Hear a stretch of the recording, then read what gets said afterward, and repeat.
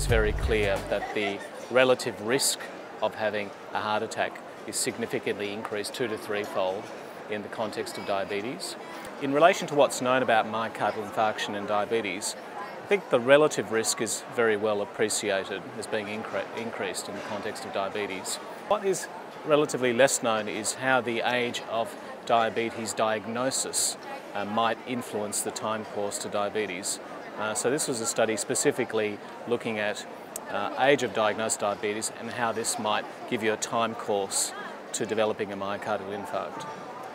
The key findings for this study of myocardial infarction diabetes was that overall the mean duration of years from diabetes diagnosis to infarction is approximately 18 years with no difference in male versus female.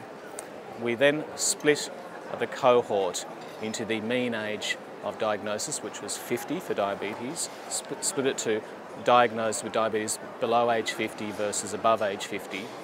and looked how that influenced the time course to myocardial infarction.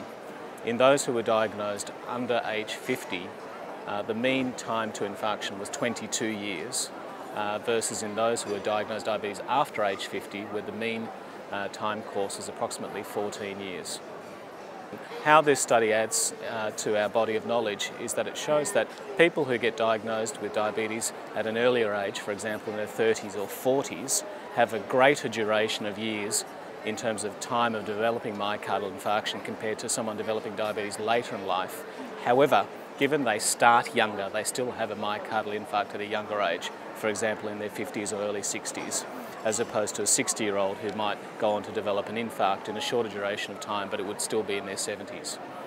In terms of the you know, uh, clinical management of these patients, uh, we feel that this uh, information might be useful when trying to convey to patients what is a realistic time course to them sustaining a heart attack. Often we get asked in clinical scenarios by patients,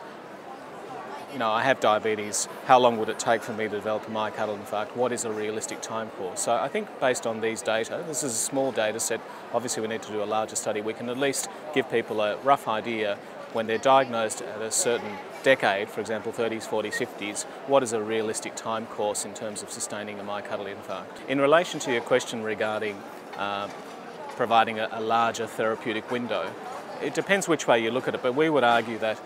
younger people have heart attacks at a younger age, uh, but the duration between time of diagnosed diabetes and time of heart attack is still quite large, potentially 20 years plus. So we feel this might be useful to instill some confidence and optimism in patients that they still have time to act and modify their cardiovascular risk factors.